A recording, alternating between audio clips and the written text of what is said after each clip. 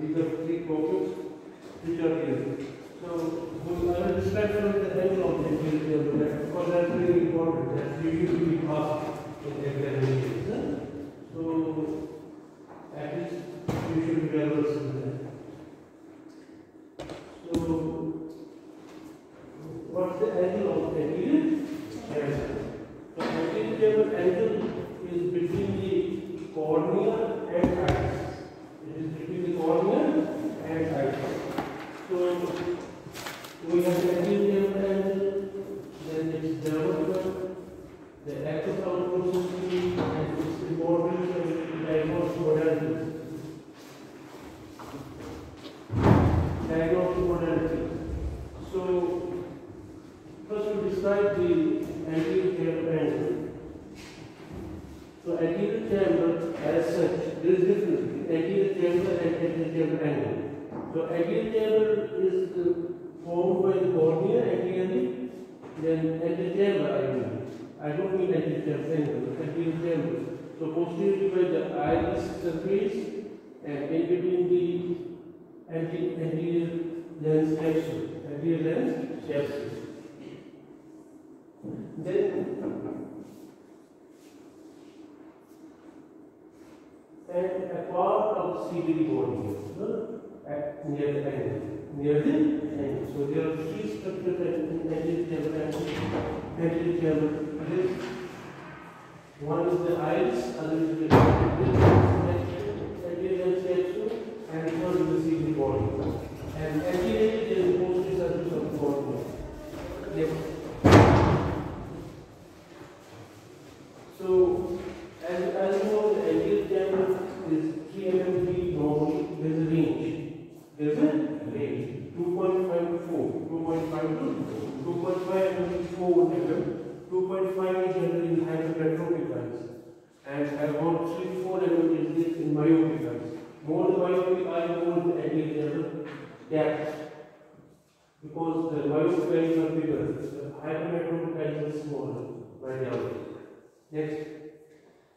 Thus you know that the anterior chamber angle is the main structure. It is the main structure which is responsible for the draining of the aqueous, or the draining of the aqueous.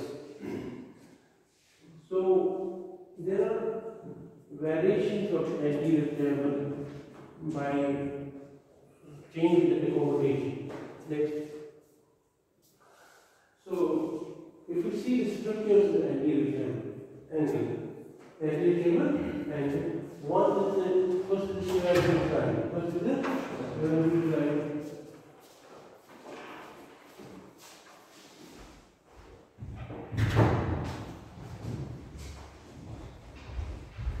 First is the Schwalbe's line, then second is the trabecular vestibule, third is the scleral symbol, fourth is the ciliary body band, fourth is the root of iris.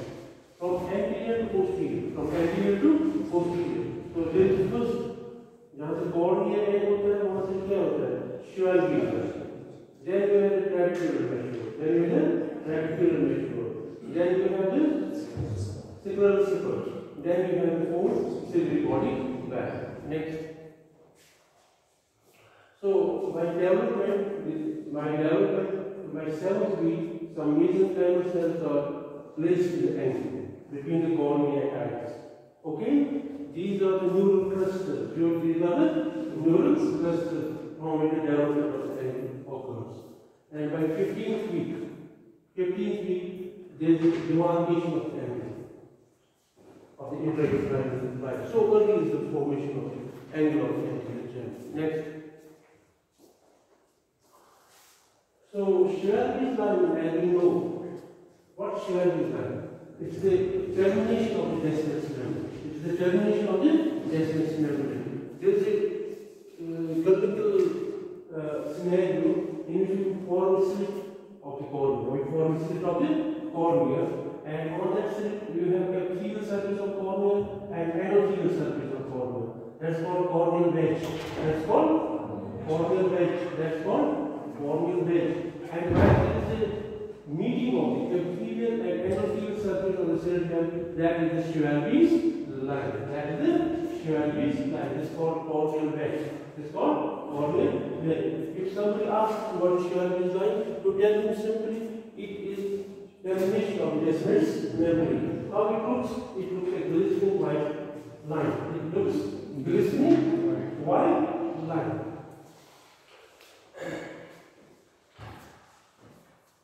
Next. So there is some transition in the at the Schwalbe's line.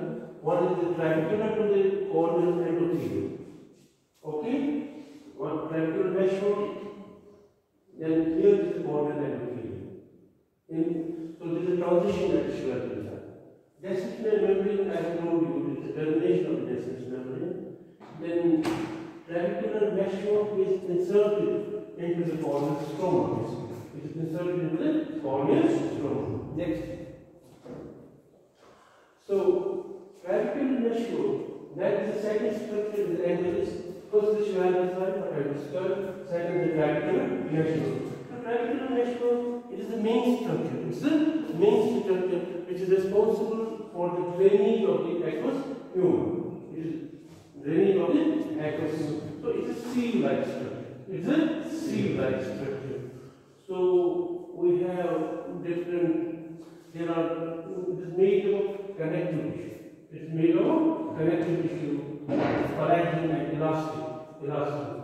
And number second, it has contractile or phagocytic property. It has contractile and phagocytic property. So there are three types of mesh. There are three types of mesh Next, called uveal mesh What's called uveal? Other is called corneoscleral. And third is called juxtacanalicular. That's called juxtacanalicular. Suppose if we start from here, if we start from here, this is the uveal mesh this is the corneoscleral mesh and this is the juxtacanalicular.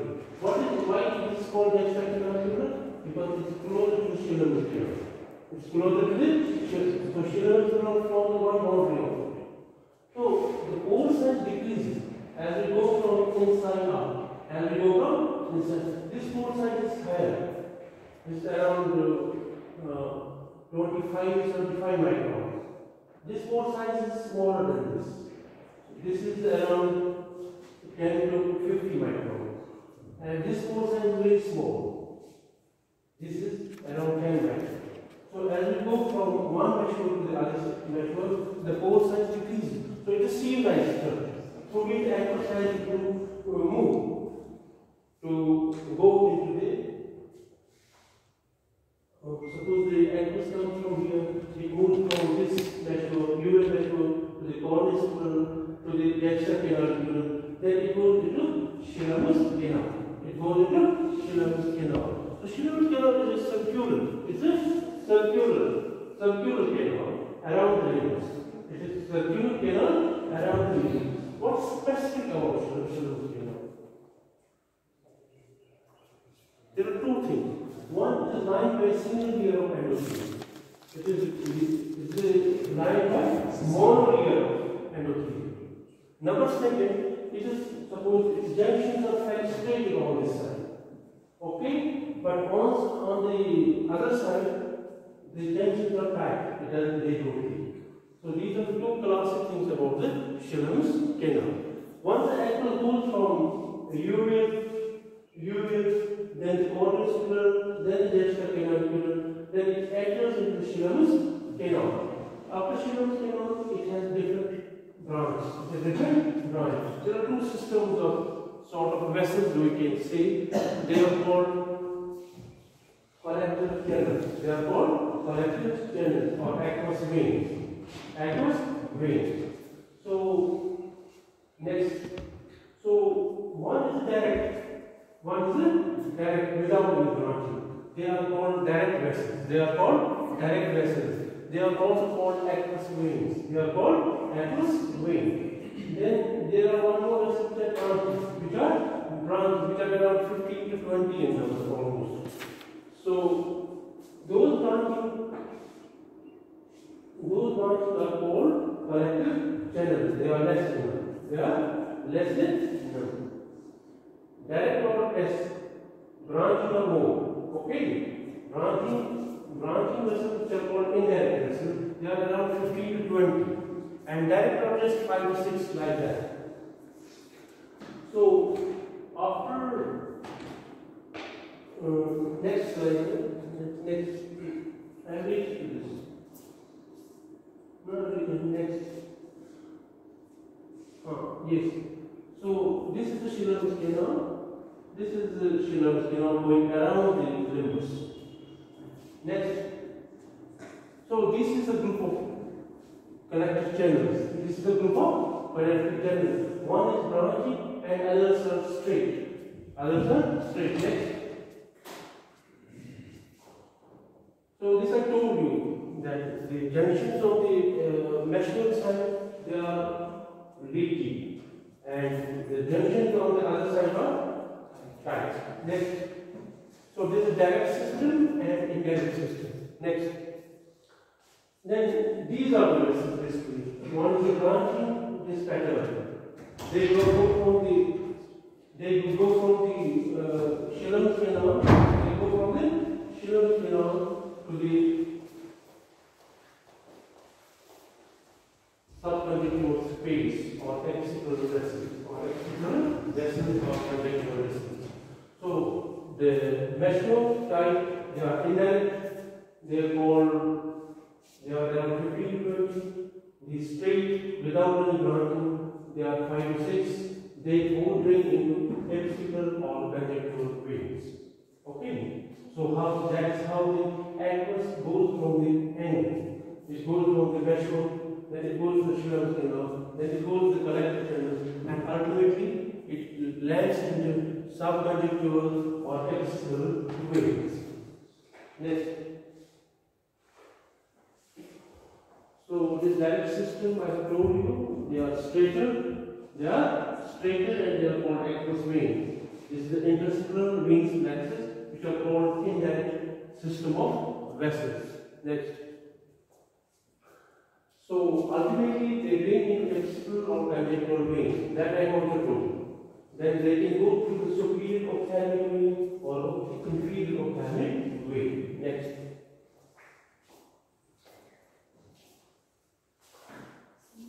Then third structure is scleral spur. That third structure is the scleral spur.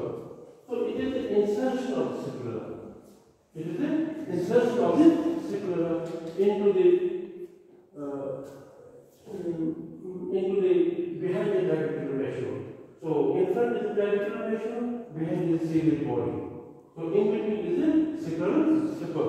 It, it is inserted as a it's a page like a white band. It's page or white band. And it's translucent structure or is called also super pattern. It contains mainly collagen, 85% of collagen. So, so first structure is Schwalbe then is the trabecular ratio, then is the scleral spur. Third the scleral spur, and fourth is the ciliary body band. So, so here I want to tell you one more thing. There are two types of trabecular ratio curvature.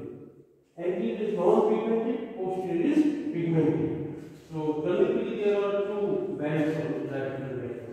Anterior non-pigmented, posterior pigmented. Why posterior pigmented?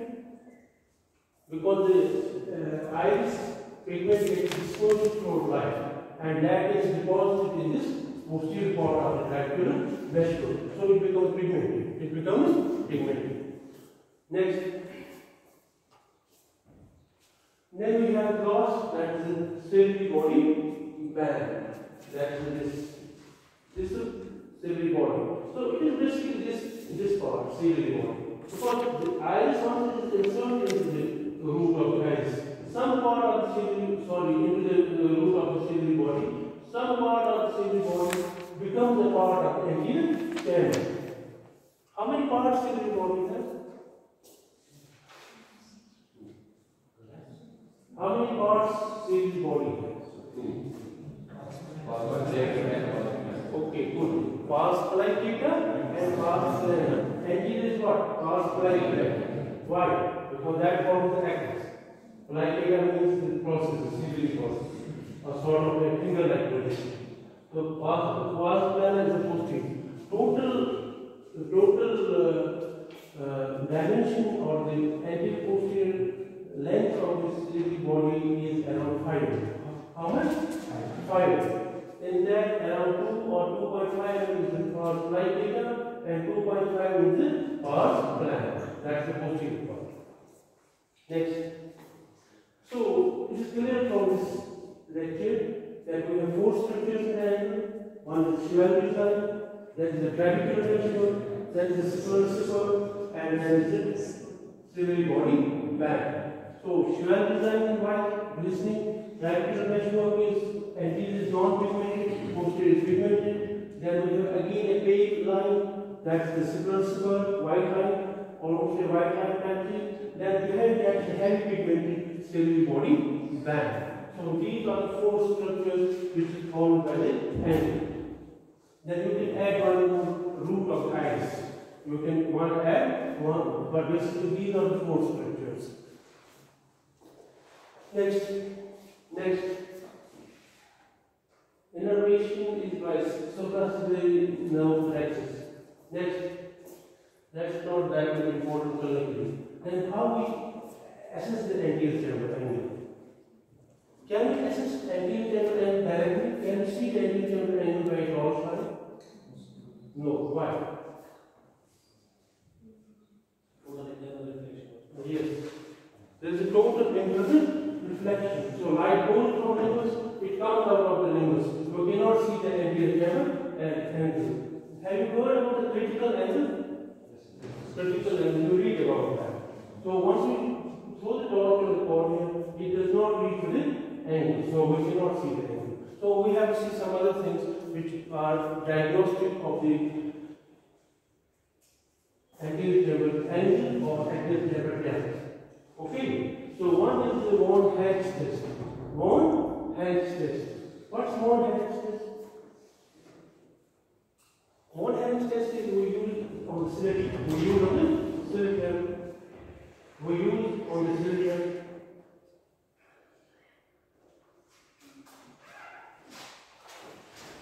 We use on the. We use a beam on the cornea. We use on a beam on this cornea. We measure the anterior chamber depth. We measure the anterior chamber depth. We measure the anterior chamber in the periphery, in the periphery near the limbus. So then we compare it with the corneal thickness. We compare with the corneal thickness. How much is the corneal thickness? That's 0.5 or 0.6 millimeters. That's around 500 or 600 microns. Because central corneal thickness is 500 microns or 525 microns. Peripheral corneal thickness will be around 600 or 650 microns. So we compare with that. Once the shadow on the cornea, the beam falls the cornea, then it falls the eyes. Then we see in between the black area how much it is. It's equal to the corneal beam or less than that. So if it's a contact between the eyes cornea, the angle is obliterated. This is like this. This beam is the optical section, it's on the cornea, it's on the eyes. So we see this in between how it is. Okay? So if it is suppose equivalent to this corneal view, so we say 1 is to 1. 1 is to 1. If this half, this distance is half of this, this is one half. If it is one fourth, it's called one fourth. If it is less than one fourth, that's one. If there is total contact of this white beam and this white beam, that's no, there is no distance between the two. So that's grade zero. Okay, that's grade zero. If this is the grade. So first is the grade zero, where there is total contact between this beam and this beam. Then is the grade one, where there is one fourth. This distance is one fourth of the order. Then between one fourth, uh, this is less than this is equivalent to one fourth. So then it is equivalent to one half. Half of the is. This is equivalent to uh, coordinate width or coordinate width. So this is how the mode helix goes. Next. Then torch. We can use torch. The way we are showing in the hold the torch temporarily and see the, how much is the shadowing on the nasal side. How much is the shadowing work? Because once the is forward, once the iris is forward is like this. Once you throw the torch here, it will form a shadow. It will form a shadow. So depending upon how much is the shadow, you can see how much is the uh, anterior shallow anterior chamber. Suppose here, once we throw the torch here, only this much is illuminated. Only this recent is illuminated. This one third illuminated. If this is this, here they almost one third, two third is illuminated. But there is still shadowing here. This is third, almost whole of the is uh, illuminated except a small recent here. And here grateful is fully, illuminated. You can understand this. I will explain it again. If the if the is more convex, if the iris is more convex, if we the temporal side, even on the temporal side there will be shadow. This is this. Okay. There is nasal side is shallow, but there is some part of the temporal also. As there is slightly deeper chamber, so half of the almost iris is illuminated. If there is more deep chamber, slightly deeper, so then almost whole of the iris is illuminated. If there is total uh, deep anterior chamber, so the whole of the iris is without any creasing or dark creasing. Idea is more the shadow is more will be the shadow. More will be the shadow. Suppose this this chamber is more shallow. This chamber is less shallow. This chamber is less less shallow than this. This is normal. Okay. Next. Then there is one machine which is called a. That's called UBM. We that's a cup is placed on the cornea. A is placed on the cornea, and then the ultrasound that creates a picture of eyes, that creates a picture of civil body, and we can measure anterior temporal or anterior temporal with that. But that penetrates only the anterior segment of the eye. That is not used for evaluation of posterior segment because it's a very uh, almost maybe uh, uh, we say megahertz. How many megahertz this ultrasound has? It has probably a heavy side of megahertz. The penetration is less, but the resolution is more of the anterior segment. Next. So this is the machine, and this is placed like this. This is the machine, the heavy machine. Then it measures this cornea, the eyes, and angle. Next. Then we have the uh, recent that the optical tomography, what's called anterior segment OCT or angle OCT. Anterior segment OCT, or it also uh, uses the ultrasound and it forms the cornea and then, then it forms an iris pattern and in between is the angle. In between is the angle. It's called anterior segment OCT. It uses the uh, ultrasound, very high uh, high frequency ultrasound, around 25,000 or around 50,000 ultrasounds per second, like that. Next.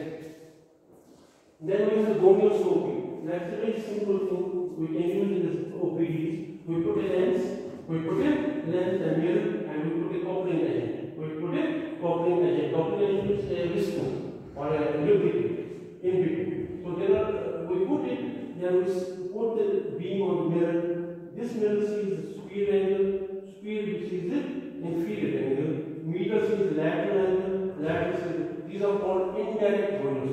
It's called indirect gonioscopes.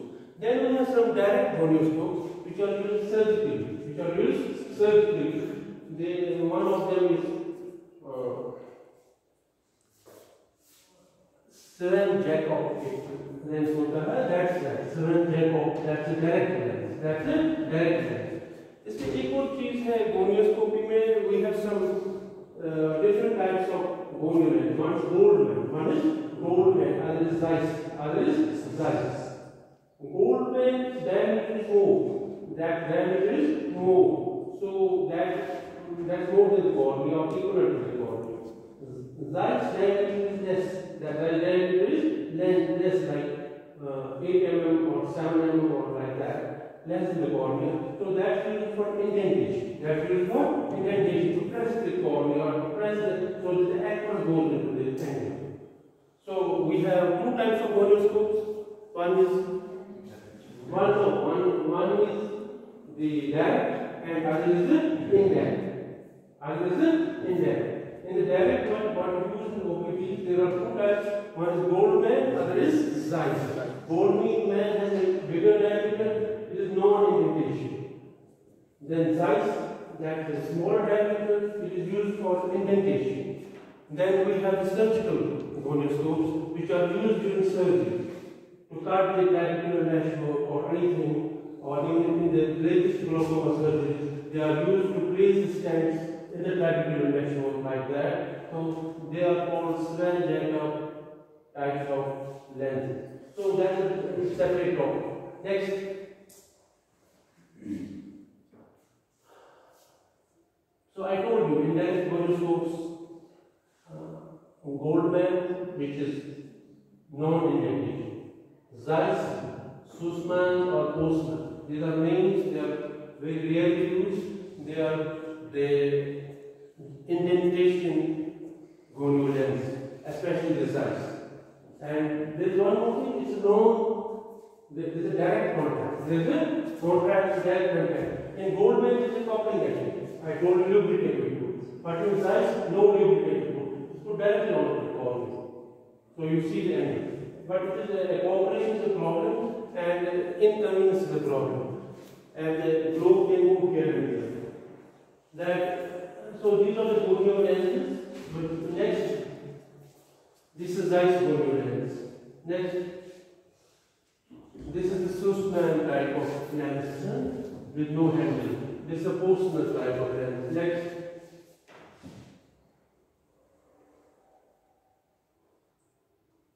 Next, next. So then we see a grading system. Then we see a system of angle. If we see a ciliary body, it is open end. If we see, see circular so if you see the ciliary body, the angle is open. That is around 40 degree, 40 or 45. Okay. If we see a circular circle, circle be that open. Okay. So angle is around 35. Okay. If we see now a practical measurement, okay, that's a uh, potentially closing angle. If we see only circular circle, that is a very narrow angle. If we see a audio, uh, uh, audio um, iris touch, that is a grade zero So if we see here, there is 35 to 45 here. There's a wide open, we see all, from ciliary body to all structures, from Schwann to ciliary body. If the angle goes from 20 to 25, 35, so we see up to circle. If it is uh, 20 degrees, we see trabecular network. If it is 10 degrees, we see Schwalbe line only. If it is 0 degrees, no structure can be seen. So accordingly, it is treated as wide open, open, moderately narrow, very narrow, closed. Okay, so in wide open, body. In open, you see circle. In moderately open, you see trabecular network. In very narrow, you see circle only, circle, circle, sorry, Schwalbe line only. And in closed, you see no structure. Okay, so if we see ciliary body or we see super super, it's open. In ciliary body, it's wide open. In uh, super super, it is just open. Okay, then if we see trabecular mesh only, then it's moderately narrow. If we see only square design, it's big narrow. Hmm. Hmm. Mm -hmm. Did you?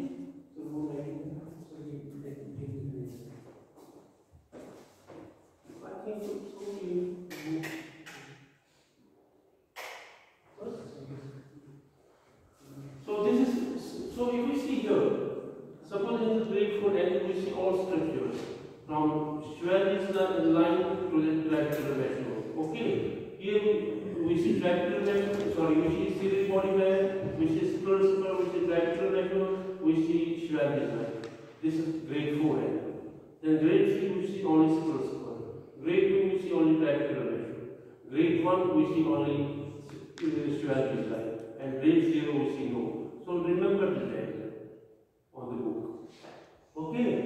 And if it comes to the examination, paste it. Okay? If you tell the examiner, you know the subject. Next. So again, same things.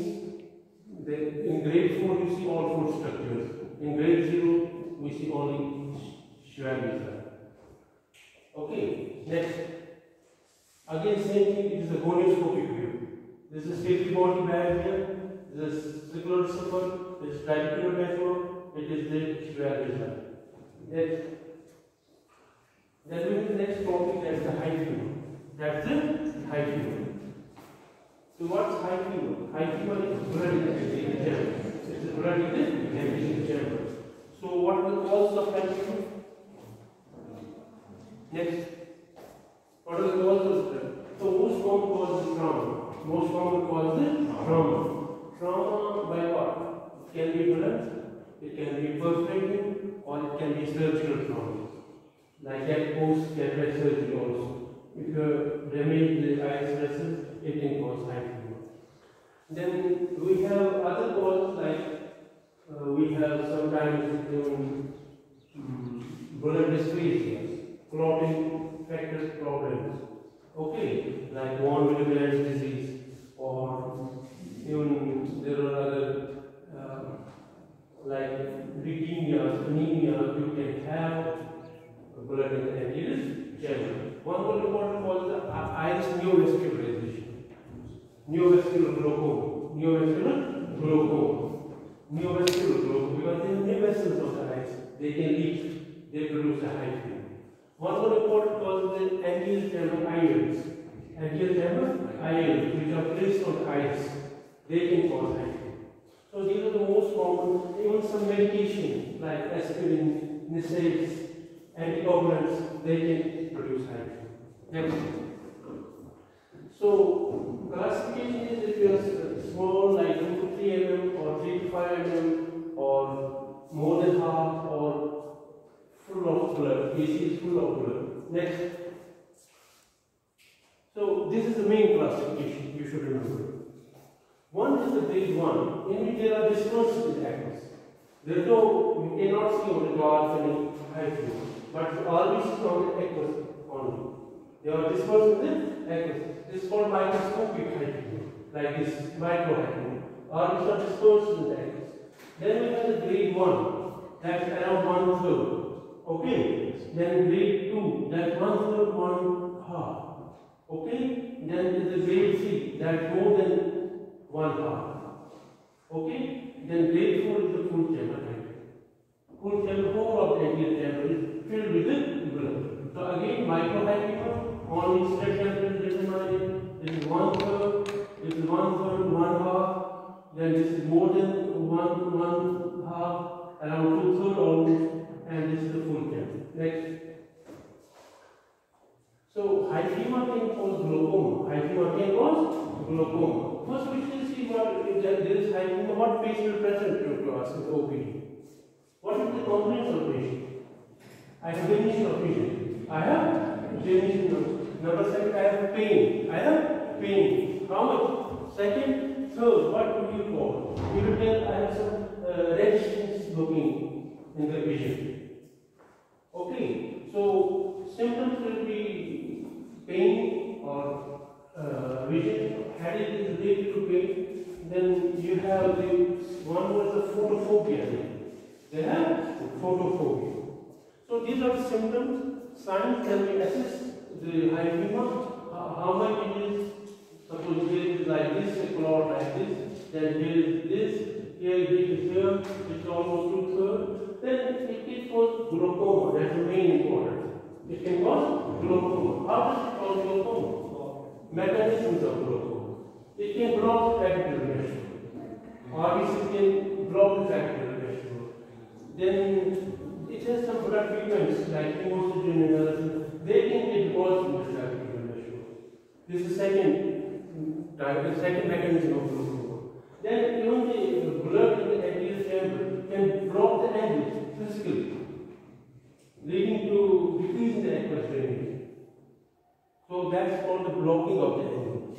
Then number four says it form a clot in pupillary which we call the pupillary clot, which we call the pupillary clot.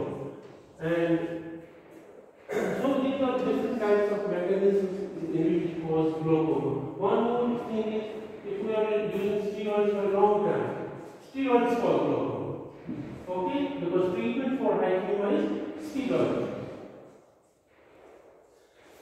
So we will uh, take a detailed history, then examination, time of injury, medication, so this all history has to be taken. As per the cause, this history is to be taken. Like trauma history, important, like a blood history, the history, you will do to take that, then when the surgery has been done, whether the patient on any uh, drugs, so that to be. Next. Then ocular examination, mm, first we have to uh, rule out there is no perforation in the globe. What's called open globe injury. What's called open globe injury. There are two classifications in the trauma. One is open globe and another is closed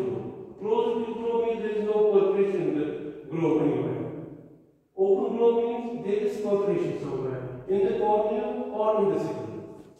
Then Visual acuity is normal. Examination, how is the vision drop? think you should see digitally only. You should see digitally. Most of the um, apparatus we use for tonometry, they should not be used in height. Why? Because that will increase the height. Suppose we are doing Schiotz tonometry, that will So short tonometry is on an indicated beam. So we have to see digitally most of the. Then lamp examination, that's okay. Then he has written B scan or CT. B scan, when, when you do B scan? B scan is done once you are not clearly seeing the fronts. Okay, like in natural camera. Suppose there is good camera right in I don't know whether it is meter camera or is retinal camera. So we will use the B scan. Okay? So natural camera, we can't see fundus. We can use the B scan. So once there, there is media free opaque, in that case B scan is used. CT scan we use only if we suspected foreign body somewhere. If we suspected foreign body. Next. So managing, how we manage the hyphema? How we manage the hyphema? So have most of the time fever is managed medically. Fever is managed medically. What we do with the patient to have rest, to have rest at home. Because if patient moves and here, here and there, that will increase the height. That will increase the height. You know, you know some people tell uh, are telling that we can the both eyes, not one eye, both eyes. Because if you patch one still there will be this eye movement that create unrest in this eye. So what they do, they patch both eyes. But though, though that's controversial. Then most important is that this blood is an anti It causes rash. It causes rash. It causes uveitis. So we have give topical steroids. We have give topical steroids. Since it causes rash, we give also mydriatics, cycloplegics. So steroids and cycloplegics, they are the mainstay of the treatment in hyphema. Thirdly, because it causes glaucoma, so you will give anti-glaucoma. So these three drugs, steroid, mydriatic, and anti-glaucoma. So generally we give, suppose we give uh, prednisone or we give dexamethasone, then we give cycloplegics, atropine or cyclopentolate, two three times a day. And inflammatory he has written here, I, I don't think that they should be given. They should not be given. Anti-inflammatory should not be given. Why? Anybody? Because that the height. Why? Because anti-inflammatories affect the blood aggregation. Okay? So any sort of hemorrhage, NSAID should not be given. No, I don't agree with this. So anti-inflammatory only one, steroids, no NSAIDs. Don't give any gluten, don't give any diclofenac like that. talking steroids, you can give. Then hypotensive, yes, hypotensive fluid, acetazolamide can be given. Okay, even topical antiglaucoma, Timolol, or Brimonidine can be given. But generally we give systemic acetazolamide. How much is dose of acetazolamide? 250 milligram daily. Dexamethasone or prednisone we can give. Four times a week. Cyclopentolate we can give three times a week. Brymonium you can give two times. Temelol, Brymonium combination also two times. Like that. That's how it is treated. So most of the high fevers they resolve medical management. But there are some high fevers which don't resolve. Which don't resolve. So there are some surgical indications. There are some surgical indications. Before I go to surgical indications, one point came into the mind that first the tonometry is not to be done, that I have told you. Number second is once there is a full chamber hyphema, it is called, it changes color. It changes color. And that's called eight ball hyphema. That's called like a snooker. Eight ball. That's called eight ball hyphema. It, it has the full chamber. So indication of the surgical management, indication of the surgical management basically depends how much is the IOP remaining high. Because high IOP in the eye is dangerous. It is dangerous. So if there is 35 mmHg for 7 days or 15 mmHg for 5 days, so this is indication for surgical intervention or surgical intervention. Then if you have full chamber hyphema, what I told you, 8 ball hyphema, huh? especially if it remains for 3-4 days, it is not resolved. Okay. Then you have the corneal blood stain. Then you have if the hyphema is not resolving with the medical management. So these are the indications for surgery. These are the indications of what is blood stain? Once the hyphema remains in anterior for a long time, it creates glaucoma also. The pigment gets deposited into the cornea. Then we have seen in the clinical practice those items of the periphery who don't are not treated by any management, by any medical management. It remains for 15 days, one month, then they develop a permanent corneal stain. Okay. So is called corneal stain. So if somebody asks you what is the complication of hyphema, what you do? Hmm? Glaucoma, okay. Then number seven is the corneal blood stain. Okay. So first is the trabecular national block, what's called IOP elevation. Glaucoma what we do. Second is the most important is the uh, corneal blood stain. Okay. Then if there is inflammation, it can cause anterior synechiae also. Okay. Then it can cause uh, what's called the retreat. Well, uh, you have treated the patient, but after some time, again he comes with the high. That's called rebleeding. That's called rebleeding. But glaucoma and corneal blood stain, they are the most dangerous complications of high. So if we say this glaucoma, this is the peripheral synechiae or posterior synechiae, then corneal staining, then rebleeding, then pupillary block, and amblyopia, yes, why not? If somebody is not hyphema, he is keeping the child at home, he will not have clearance, he will have amblyopia as well. Though whether it will come under, amblyopia definition or not, because amblyopia means the eye should be normal. By definition, amblyopia means uh, maybe next. Then we have small chapter that's the hypopyon. That's hypopyon. This is just few lines, four five lines and stops. What's hypopyon? So it is past from the anterior stem. Past, past what by past what would mean? They are leukocytes. They are they are they are leukocytes. They are they are leukocytes.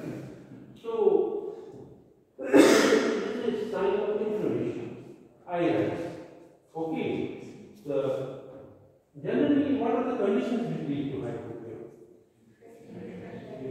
Bacterial keratitis. Suppose we take bacterial keratitis. Suppose we take it. Is it infective? It is not infective. Because it's only the toxins. The organisms do not go to the anterior chamber. Only the toxins go to the anterior chamber. And they create a permeability change in the iris vessels. And because of that, there is a hypopyon. So, what are the classical things about hypopyon? Number one, it is the only part of the body which is sterile. Okay, so it does not need any drainage. Number one. Number two, since it's a fluid, so it will change its level. So, some person sleeping like this, it will become like this. Person sleeping like this, it will become like this. Person upright, it will like so it will change its level. Did you understand the point or not? Okay, suppose it's a cornea. If patient sleep like this, it will be like this. If patient sleep like this, it will be like this. If you patient upright, it will be like this. Okay. So, if somebody asks what are the causes of hypopyon, what will it?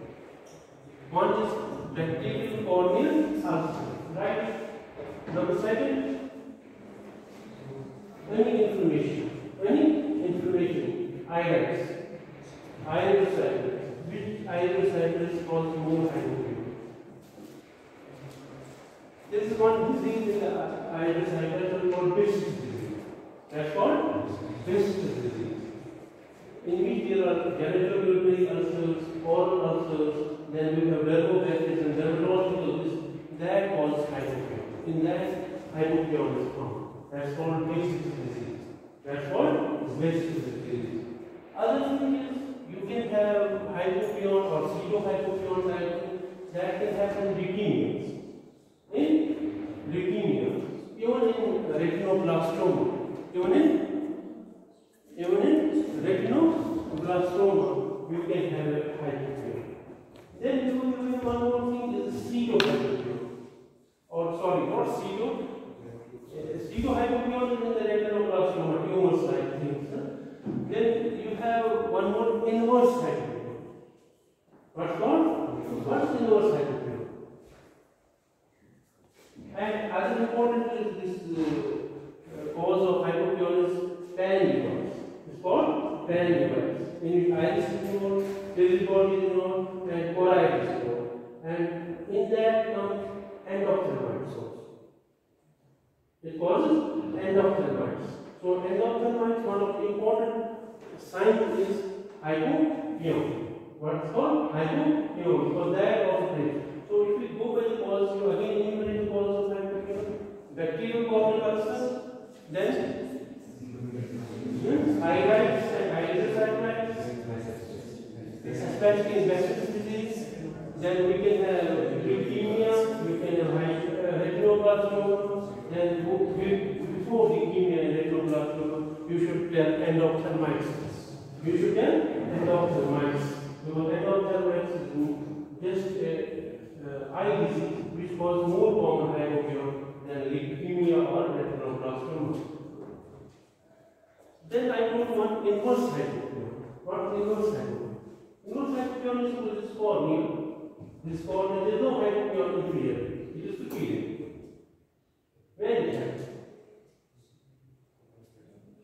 Some vitreoretinal surgeons who are doing retinal surgeries, they place silicone oil in the vitreous cavity. They place silicone oil in the vitreous cavity. Once that oil comes into the anterior chamber through the zonules, it floats because oil is float up. So it is called inverse hypopyon. It's called inverse hypopyon. There is one more hypopyon which is very important which you not told me. Is fungal corneals. Is it fungal corneals? What type of hypothermia? It is non-sterile. So fungal is non-sterile. It contains hydrogen. Bacterial is sterile. अच्छा यहाँ पे एक बात मुझे भूल गई बोली आपको बैक्टीरियल हाइपोक्योर source